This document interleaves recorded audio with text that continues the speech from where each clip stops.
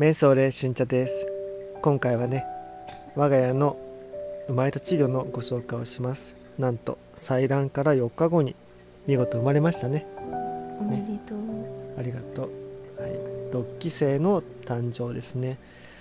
こちらね結構いろんなトラブルがあってねヒーターのコンセントが抜けちゃったとかさあとはまだ産卵しないかなと思ったらね仕事から帰ってきたら産卵されてて大慌てで採卵とか人工授精させたりね、して大変だったんだけどなんとか孵化しましたよ。全滅かと思ったけどねヒーター入ってない時は。うんやっぱ孵化させるにはねそれなりの温度が必要なのでやばいと思ったけどなんとか18匹ぐらいだけね孵化してくれました。でこちらが親ですね。母親のショートテイルオランドのテールーと父親はヤンボーの2匹白牛とミシェール王子ですね。なのでショートテイルオランダ系のね純正純正ではないけど片方がショートテイルオランダということでうちでは初めてだね、うん、今までショートテイルオランダ系って言ってさヤンボーの子供はちょいちょい生まれたけど純正のショートテイルオランダが産卵したのが初めてだね。うん。よかったね、よかった。ありがとう、うんうん。やっぱね生まれた時はすごいちっちゃいんだよね毛だね。うん。うん。そう。だけど可愛いよね。このさこう見守るじゃん。加温して。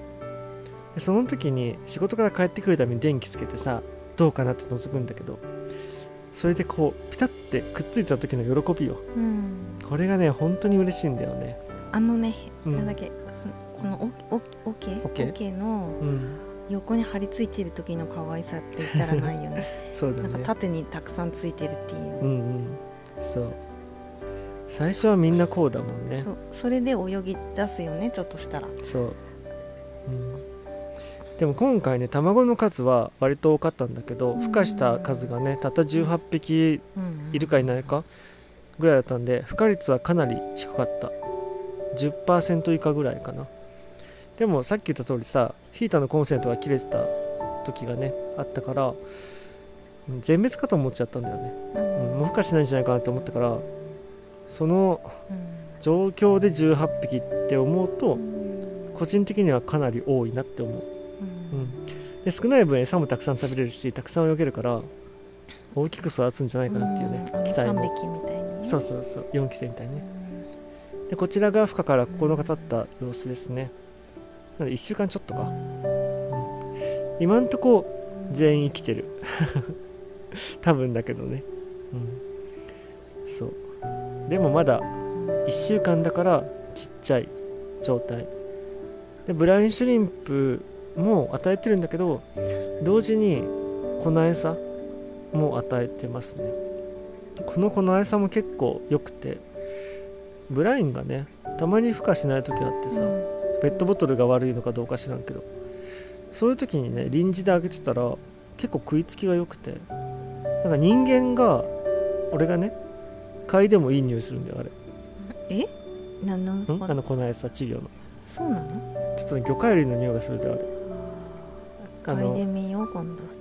あのカップラーメンのお湯入れる前の匂いみたいな感じ。シーフードの？シーフードシーフードみたいな。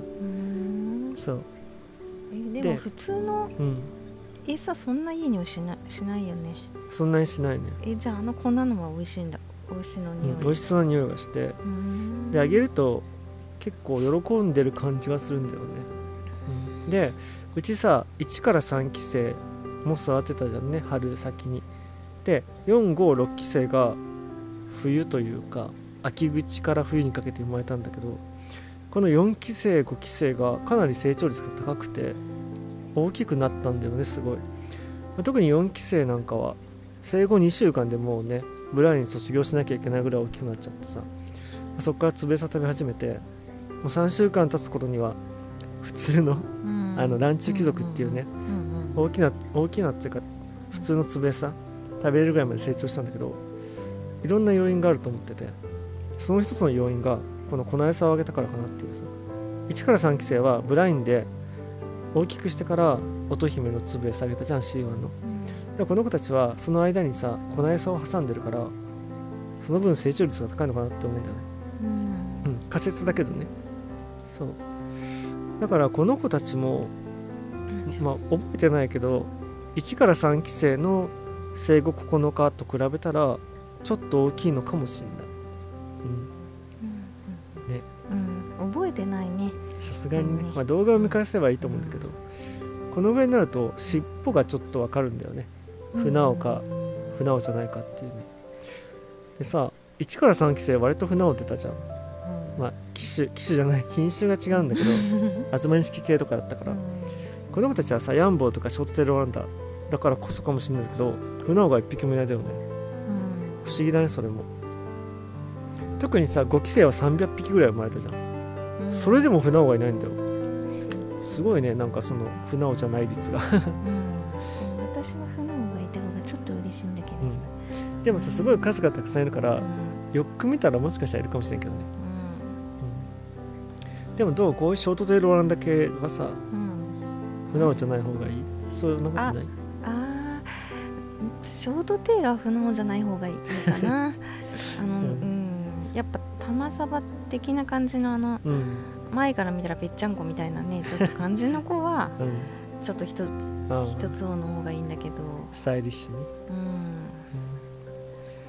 うん。はい、はい。この子たちがねうん。どんな姿になっていくのか楽しみだね、うん、でご存知の通りさ、うん。最近はめちゃめちゃ寒いから多分もう自然繁殖はしないと思うんだよ、うん。この子たち4期生から、まあ、全員かうち1期生から6期生まで全員自然繁殖なんだよね。あのお腹を絞ったりして人工授精をさせてるんだけど繁殖モードに入るまでは完全に自然でやってるじゃんねヒーターで加温してってことはやってないので、ははい。い、もうしないとは思うので、一応2020年はこの6期生が最後になりますね、うん。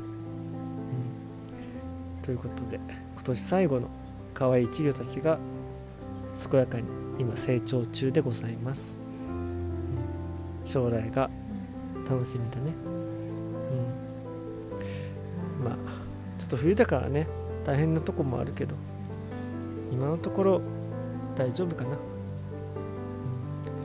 個人的にはあんまりねこの時期に稚魚飼育ってねあんまり気が進まないんだけど逆に閑散期になってるからさその時に楽しめることがあっていいなとは思う。新しくお迎えするんじゃなくて家の中の金魚に注目したりとかさ環境を整えるみたいなねそういう時期かなと思うから、そうだね。うん、ヒーターのうん。強制繁殖するかどうかはまだ検討中なんだけど。うんうんうん。正月あたりしちゃおうかなとも思うんだけどね。うん。いいんじゃない？ね家にいるからね、うん。うん。はいそんな感じで、うん。皆さんこれからもこの子たちを温かい目で見守っていってください今日もここまで動画を見ていただきありがとうございました。また明日お会いしましょう。またねバイバイ。バイバイ。